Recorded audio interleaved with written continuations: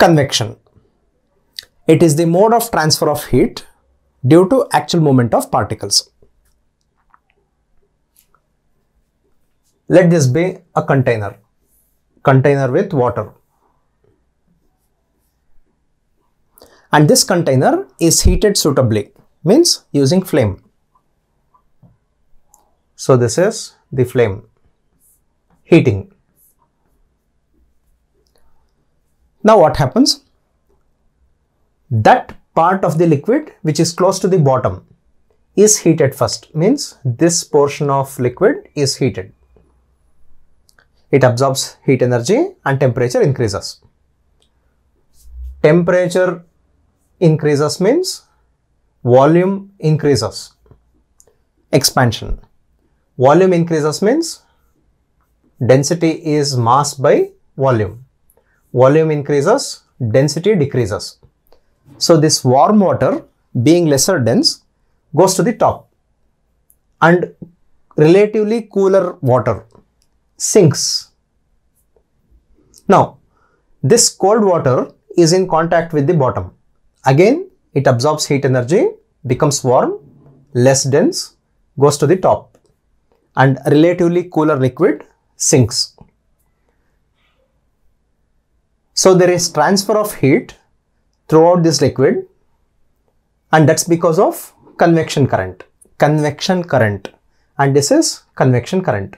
There is movement of water molecules inside this container. So this is how liquids are heated. Fluids are heated.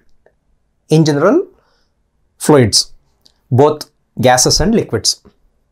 Using convection, let us understand sea breeze, land breeze and trade winds. Let us understand one by one. Sea breeze. Sea breeze is observed during daytime. Observe the diagram. There is land, there is sea. Now, during daytime, temperature of land increases faster than temperature of sea water and that's because of specific heat capacity. Specific heat capacity of water is very high compared to land. That is why rising temperature of seawater is less. So this is heated faster. And that part of air which is close to land absorbs heat energy. After absorption, density decreases. It becomes light. So this warm air rises. As the warm air rises, we can expect air from the sea. This air, which is close to the sea, will absorb very little energy from the sea because temperature of seawater is less compared to temperature of land. So, this relatively cooler air will move towards land and this warm air rises then it returns, it sinks. So this cycle continues during daytime. And there is breeze from sea towards land. That is why it is called sea breeze. And it is a cold breeze, relatively cooler.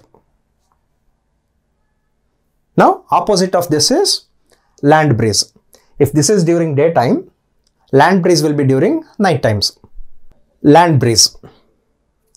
During night times, this land mass loses heat energy faster than sea water. During daytime, it has absorbed heat energy. But during night time, land loses heat energy faster than sea water. Since it loses energy faster and this is warm, air closer to this sea, this air closer to sea absorbs heat energy from the sea, expands, density decreases and this air rises. As this air rises, that region is filled by air from the land and that is land breeze. And temperature of this air will be less compared to temperature of this air. So that is why this air rises and this cooler air sinks. So there is gentle breeze from land towards sea. And this is land breeze. See, due to convection, we can explain land breeze. Now, third one, trade winds. Trade winds. Earth, axis of rotation. You can see axis of rotation here. And this is the equator. Equatorial region. And we have already studied in our lower standard that equatorial region receives more sunlight than regions at the poles. So this region receives more heat energy. As a result, temperature of this region increases. As temperature increases, air closer to the equator is heated faster than air closer to poles. So this air absorbs more heat energy, temperature increases, density decreases and this air rises. And this is not according to scale. The air will not rise so much, but to understand. Okay, done. So this warm air rises and that region is filled by air from polar regions. So there should be breeze from polar regions like this. In the southern hemisphere, southern hemisphere means this half. Northern hemisphere means this half. So air can go towards north pole or towards south pole. Okay. So there is wind from the polar regions towards the equator. This is how it should be. But one more parameter we have to consider. One more information we have to consider. Earth is rotating such a way that any region along the equator will be moving around 6 1600 1600 kilometer per hour each and every place is moving at this speed very high speed so because of this motion from west towards east instead of wind blowing from polar regions towards the equator the wind blows from somewhere close to 30 degree north towards the equator and in the southern hemisphere 30 degree south towards the equator. It is supposed to be from the polar regions. Because of rotation of earth, the wind will be from somewhere 30 degree north and 30 degree south towards the equator. So wind will, direction of wind is something like this. And this change in direction and this wind can be explained using convection.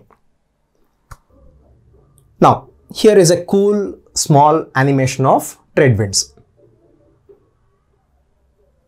You can see flow is from 30 degree north towards the equator or 30 degree south towards the equator. Why these are called trade winds? Suppose this part is Europe and this part is America, A for America. Then natural flow, natural wind direction is from Europe towards America. Earlier, sailboats during colonial expansion period. What was the reason for colonial expansion? Main reason was trade. They wanted to venture into sea for any possibility of trade or any possibility of finding new land mass, isn't it? So that is why these are called trade winds. If there is a sailing boat here, then that sailing boat is naturally pushed from Europe towards America because of this wind. So that is why the name trade winds. Isn't it beautiful? Yes. We can explain trade winds using convection of heat.